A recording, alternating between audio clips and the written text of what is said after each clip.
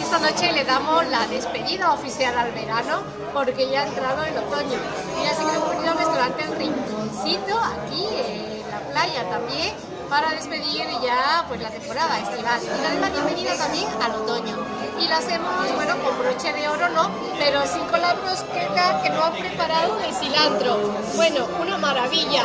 Y a continuación, pues seguimos, seguiremos degustando los platos y que han preparado especialmente para esta noche en el restaurante Rinconcito en Marbella.